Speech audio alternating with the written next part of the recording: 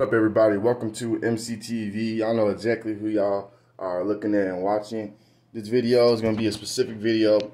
It is about being black and it's about black fighters in professional sports and more specifically the black fighters that are in boxing right? So let's just be real. Let's, let's give y'all a, a few facts. Black fighters in boxing are the best fighters in boxing. Most of them hold the belts. Most of them get ducked.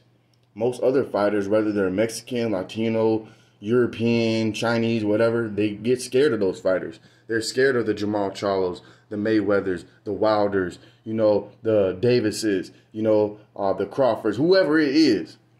The black fighters in professional boxing get ducked the most. They get hated on the most. They get ignored the most. And they try. And lately, by the WBC and other sanctioning bodies, they've been trying to get ostracized the most and pushed to the side the most.